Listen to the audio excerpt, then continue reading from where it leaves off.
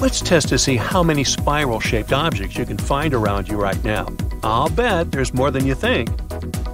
A spiral may be hidden in the flower petals of your houseplants. One might be staring at you from that seashell you brought home from your last trip to the beach. If none of these objects sound familiar, you might want to head over to the mirror and turn to the side a bit. In case you haven't noticed yet, even our own ears are shaped like a spiral. Why does Mother Nature seem to have such a preference for this shape?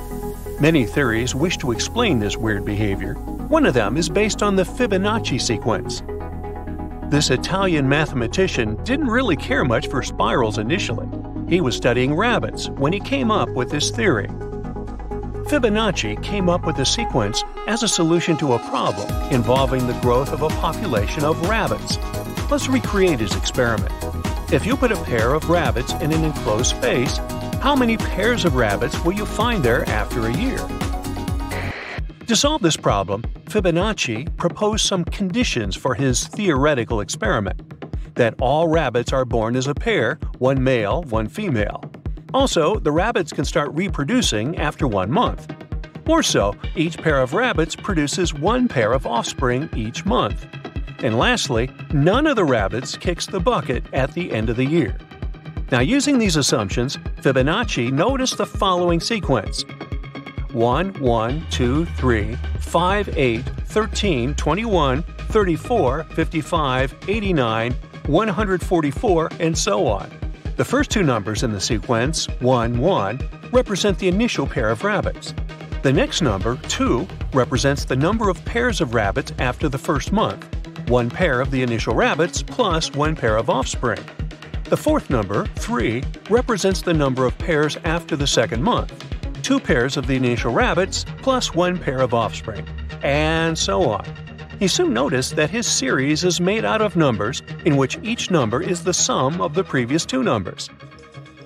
A lot of other mathematicians have looked at this sequence over the years.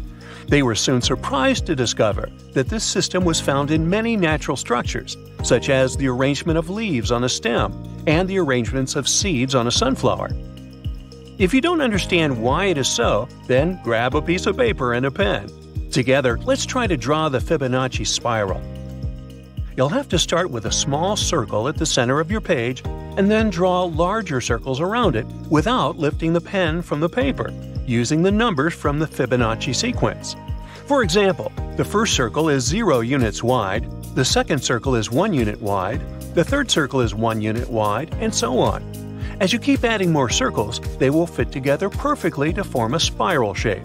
The spiral gets bigger and bigger, but it always follows the same pattern based on the Fibonacci sequence. Another famous spiralist was a man named James Bell Pettigrew. He was a Scottish naturalist that became fascinated by the mystery of the spiral shape, which he noticed almost everywhere in nature. He studied it at all scales, from giant nebulae in space to tiny molecules. Despite his research, he couldn't figure out where the spiral came from. He was sure that it couldn't be just a physical thing, and he believed that organs in plants and animals are not only shaped like spirals, but they also work in a spiral way. At the center of lifetime work on this unique shape was the human heart. Pettigrew believed that the heart's spiral structure was the mystery of all mysteries. He also thought this shape was to blame for both its muscular contractions and how the blood seemed to travel within our mighty tickers. The reason why the spiral seems to be everywhere might be really simple efficiency. Take a look at the basic sunflower, for example. It figured out a way to display its seeds so that it could expose them to the sun equally, without wasting any space and without being limited in their growth. Spiral stairs are another great example, too. They just work better. You find it easier to climb them, and they should take less space than the usual ones. We also might be more inclined to notice this shape more than others.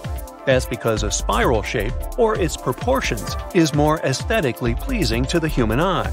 It's the reason why interior designers, artists, or illustrators often use these principles in their work. The spiral symbol is also the oldest symbol found in every civilized continent. Some historians believe that the spiral in Asian art may represent the sun, as it has been found on roof tiles from the Tang dynasty near the ancient city of Changyang. It is also often found at burial sites, and scientists believe it to represent the circle of life, how we pass on and somehow be reborn. This is probably because, in some ancient civilizations, people believed that the sun was born each day, extinguished itself each night, and was reborn the next day. You might have also stumbled upon the spiral as a symbol of hypnosis and dizziness. There's no real evidence that you can hypnotize someone by making them stare into a spiral for a certain time. But its effects on our abilities to focus and our optic nerves are significant. After you've stared at a spinning spiral for quite some time, you'll notice how objects either get smaller or bigger, depending on the direction of the spiral. It's easy to understand why some experience the sensation as hypnotizing. One of the most distinctive features of DNA is its spiral shape. It's also called a double helix. The double helix is formed when two strands of DNA twist around each other, like a ladder being twisted into a spiral shape. This spiral shape is important for many reasons. First, the spiral shape allows DNA to be compact and efficient. The double helix can pack a lot of genetic information into a small space, making it possible for cells to store vast amounts of genetic material in a small area.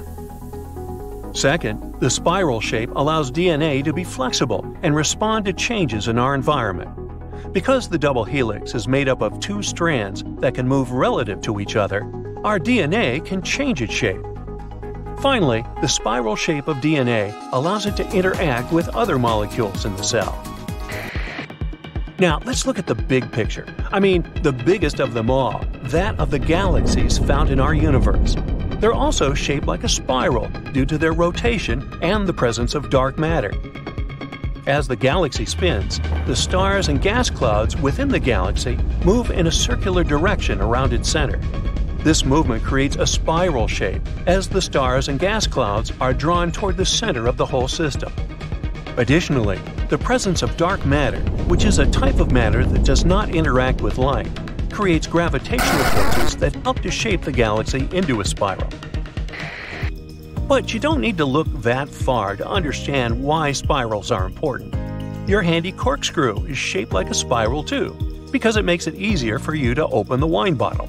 That screw you drilled into the wall to hang a picture, also a spiral. It helps it with some added grip and stability. Got a notebook on your desk? Those pages might be held together by a spiraled wire. It makes it easier for you to browse the notebook without damaging the pages. Even your hair strands might have a curled shape. The curlier the hair, the drier it will be. It means it will get sebum from the scalp down on the strand slower, making it easier to maintain and clean. And before I spiral out of control, we're done here. That's it for today. So hey, if you pacified your curiosity, then give the video a like and share it with your friends. Or if you want more, just click on these videos and stay on the bright side.